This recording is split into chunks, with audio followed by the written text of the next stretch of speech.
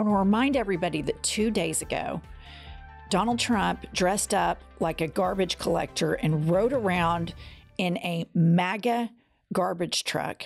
And since then, Dark Brandon, aka Joe Biden, um, occupies so much real estate in the MAGA faithful that they all are wearing trash bags and posting it. And the fuck Joe Biden crowd is the most thin skinned people on the planet. But this is just the surface stuff with them. Beneath the surface, we all know the rhetoric and the language and the executive orders that are prepared by Project 2025 that are ready. And Trump has no discipline. And so everything slips out all the time. Pumps, listen to this clip from last night. And I don't blame him for sticking with his daughter, but his daughter is a very dumb individual, very dumb. She's a radical war hawk. Let's put her with a rifle standing there with nine barrels shooting at her, okay? Let's see how she feels about it. You know, when the guns are trained on her face. That is insane. That is so threatening and vile. And the people are clapping for it. They yeah. like it. It's unbelievable that he would speak that way four days from the election. But obviously, he has reason to believe that MAGA loves that shit. No, well, he likes it too. I mean, oh, he is, absolutely loves it. This is his revenge tour. You know, the the his if he were to win again, it is it is dark, deep revenge seeking autocratic administration. And I just think that his language towards uh, Milley, Kelly, Jack Smith, now Liz Cheney, it always goes back to um, some sort of really perverted justice that he and his followers want to seek. Now, in this clip, he's trying to say that Liz Cheney and her father, Dick Cheney, are huge war hawks, and how would they like it if they had guns facing them? So, if Barack Obama or Joe Biden or Kamala Harris use this kind of language about um, Marjorie Taylor Greene, about Donald Trump, about Don Jr., they would lose their minds. They would. And I just go back to wasn't it the first rally he had at the site of the Waco standoff that he actually said, I am your retribution? And now he's telling us to whom he seeks ret- retribution against.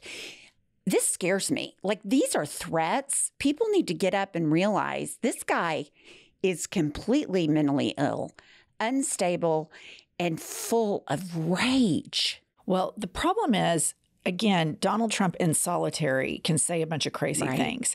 He is surrounded by a group of people that want no guardrails on democracy. They want a post constitutional America. They seek to imprison journalists. They seek to um, charge physicians and women seeking abortion care with crimes. They seek to roll back any sort of discrimination protections. Right now, there's a whole movement on Elon Musk's X platform where they want to do away with the female right to vote. And I think it was just a couple days ago, was 50 years ago to the day that women could get a credit card without their husband's signature.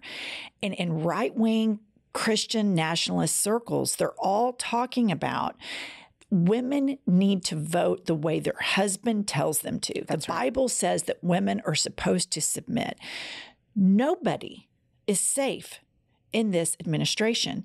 They seek to dismantle the Department of Education.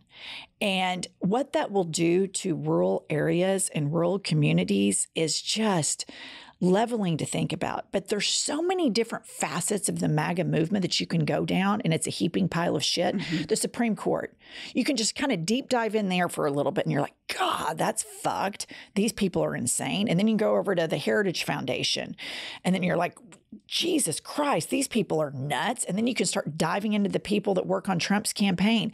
There's so many pockets of just depravity surrounding this man it takes us back to why are people bending themselves morally to vote for this man. And I've said it once and I'll say it again it's the racism stupid.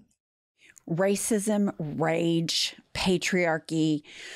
It becomes clearer and clearer to me every day that what they seek is power and control over everyone. White men want control over everybody else. Christian nationalism. There is nothing grosser and more craven than the things they are spewing at rallies on Twitter. It's these people are vile. Next up, we have a clip from uh, the exact same interview with Tucker Carlson. And here is Trump again talking about crowd size. Now, this was an opportunity for him to sit down and talk about policy. He can't. First, he talks about, you know, rifles aiming at Liz Cheney. Now we're going to talk about crowd size. Never been rallies like this. When that sleazebag said during the debate, she said, Oh, your rallies aren't well attended and people leave. They don't leave, and they're really well intended. We can't get places big enough. And then, and then I said, I said, I said, no, no, you know, the rallies are the biggest in history. We never have it, just like this, this is a part of a rally. We never had an empty seat and nobody leaves early. And you know what? If I saw people leaving, you know what I'd do? Ladies and gentlemen, we're going to make America great again. Goodbye, everybody. And everybody would be happy. Nobody would leave.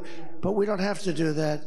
Nobody leaves. It's be, it's a love fest. It's never happened before. Why in the fuck, four days before the election, is he going on and on about crowd size? Because he is so insecure.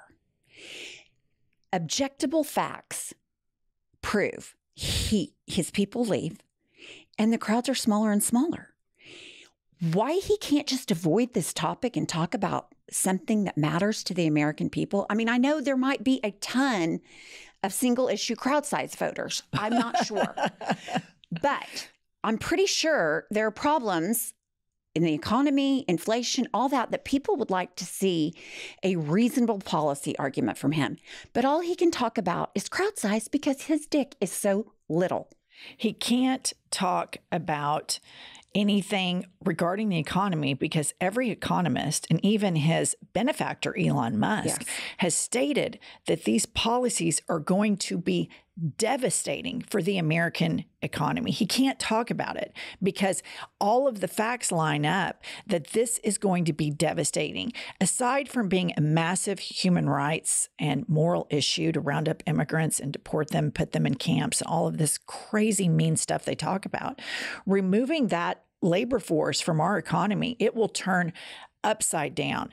But in his closing argument, aside from dressing up like a trash man and riding around in a MAGA garbage truck and talking about crowd size, he also has an imaginary competition with the deceased former President Ronald Reagan about crowd sizes. Listen to this. They're going to have 250 or 300 people. If Ronald Reagan came back from the dead at the height, at the height of Ronald Reagan, if he went to California to have a rally, he'd have 250, 300 people in a ballroom someplace. We have 50, 60, 70, 80, 100,000 people. And, and in all fairness, we're late. I don't know. I have no idea. I've been doing this all day. I have no idea how, what time it is. But I know it's not exactly prime time for doing this stuff. Okay. It's obvious that this man is a useful idiot. Absolutely. There are people surrounding him that have very dangerous, ambitious goals. They also control the media. You have Elon Musk that controls X. You have Rupert Murdoch that controls Fox. You have uh, the Daily Wire, you know, controlled by all of those far right wingers. I feel like they are trotting him out because he has the cult following, right. which tells a lot about the American public, but I digress.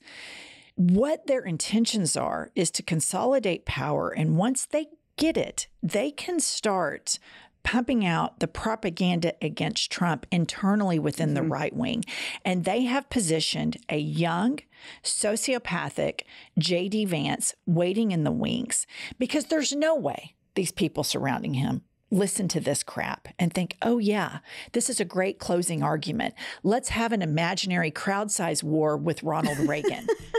you know, nobody nobody thinks, yeah, dress up like a garbage man and drive a, a MAGA garbage truck in circles in an empty parking lot. That's what Americans want. Nobody thinks a billionaire cosplaying being a garbage man or cosplaying working at McDonald's makes him relatable. But there are thousands of people funding this, mm-hmm. and they have written policy and they own a lot of the right wing media. And that is the scariest component of this. It really is. When you first started saying this, and I will give you credit, you started saying it weeks before I heard other people started saying it about invoking the 25th Amendment against him because he is so frail. He is so morally unfit, mentally compromised you could tell by when he was trying to get on his garbage truck, he couldn't control his limbs. So I damn near killed himself it, trying to get in that thing. He looked like he was on roller skates. I mean, it, it was just like a mini stroke in action. no disrespect to anybody who suffered from mini strokes, but it, it they have to do a few things in order to do that. They will have to turn the media, the right wing media right. industrial complex against him. And if you think back, after January 6th, there was a moment where Fox and the right wing started saying, we're done with Trump. And they trotted out DeSantis. Remember, he was the guy that the was going to come in, and DeSantis was the new face of the MAGA movement. Well, Kitten Heels you know, with his little booster shoe, spectacularly face planted because this cult was still so embedded. They will start the movement within. And then we are beyond fucked. And if you, it's so crazy to think when you see Trump and how evil and depraved he is, that the people behind him are more organized, right, and more competent in their depravity, and they are not um, hindered by imaginary battles with Ronald Reagan about crowd size and if people leave the rally early or not. They just know, okay, his followers lap this up. Let's have everything locked and loaded and ready. And they're going to start firing it out the chute. And it's a lot of these people that are going to vote for him don't realize the implications of what his, how his policies are going to affect them the most. And it's horrifying when you think about the JD Vances and that sociopath, Kevin Roberts, yeah. over at the Heritage Foundation, what they have in store for America. It's not just women, it's marginalized groups, it's black, brown, LGBTQ, anybody. Just here, let's just put, say this everybody is on the chopping block that's not a white Christian male, full stop. But I'm gonna I'm gonna stop you because if you're poor and you're a white Christian oh, male, oh, that's right, tough shit. You're right. Rich, white, Christian male. That's your top four. And once they get past that, I don't think they're going to give two shits about the Christian that much. No, I think you're right. I don't think they really give a shit about right. religion. They right. just know it's a vehicle. Right. All right, guys. Some, another uplifting episode from the ladies of IHIP News, and we'll see you guys later today. It's so